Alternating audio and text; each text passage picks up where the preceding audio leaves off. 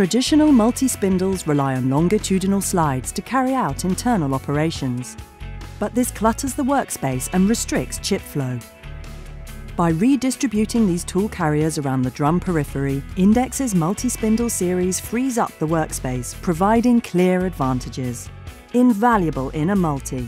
Fully independent and infinitely programmable spindles on a multi can be achieved in two ways. Whilst many of our competitors employed slip ring technology, Index patented the simple idea of reversing spindle drum rotation, allowing permanent connection between each spindle and drive. The sixth sequential index position is achieved by winding the drum back by 300 degrees in rapid. No slip rings, no fuss. A superior process all round.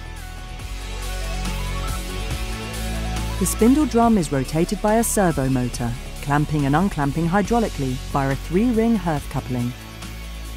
The first ring is mounted to the main headstock, the second to the outside of the drum, once the drum has been rotated into position, the third bridging ring is engaged with both headstock and drum rings hydraulically.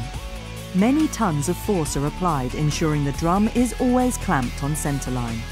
It is geometrically precise and thermally stable.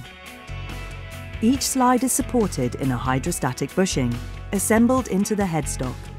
A special slide oil pumped into the bushings creates a hydrostatic film between 20 and 40 microns thick.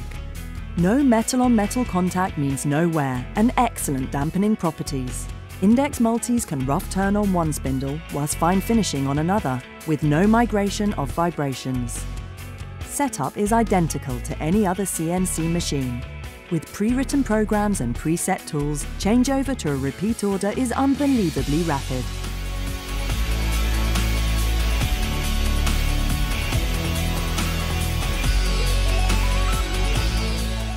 On this part, the Index MS delivers a cost saving of 30% per unit.